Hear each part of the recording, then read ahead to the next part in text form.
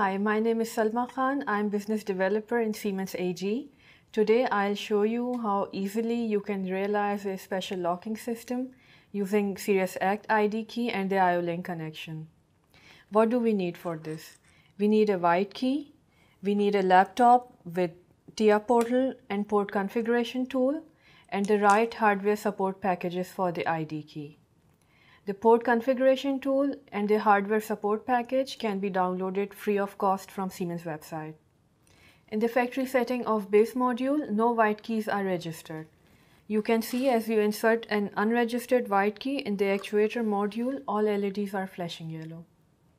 In the next step, I'll show you how to realize a highly secure locking system.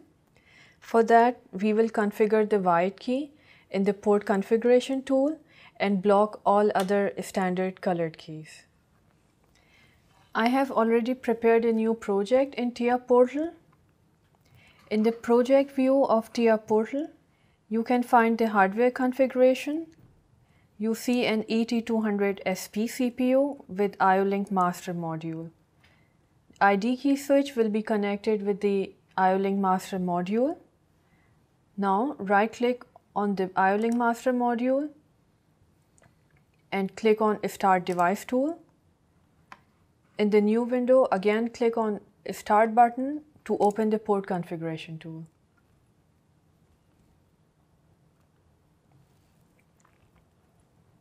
In the screen for port configuration tool on the right hand side in the catalog, expand the folder for IO-Link version 1.1, further expand Siemens AG folder, then down to Sirius ACT devices. Double click on ACT electronic module for ID key operated switch and it will come to the first port of IO-Link master module.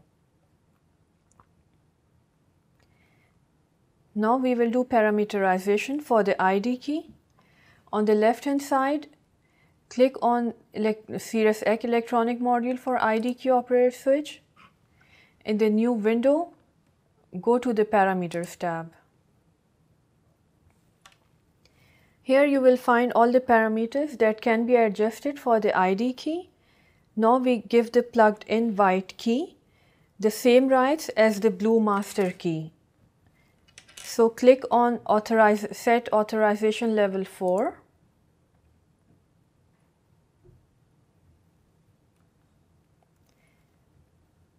This means the white key can switch all four positions.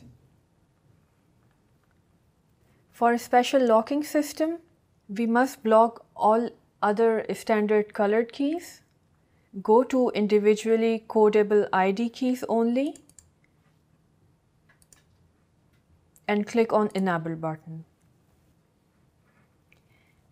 Click on the Load button and the configuration will be downloaded in the base module. Now we test the configuration for this special locking system. We'll take out the white key Insert in the blue key and you can see all LEDs are flashing red. It means the system is inaccessible for all other colored keys. We go back again to the white key, insert it in and switch to position number 4 and it works.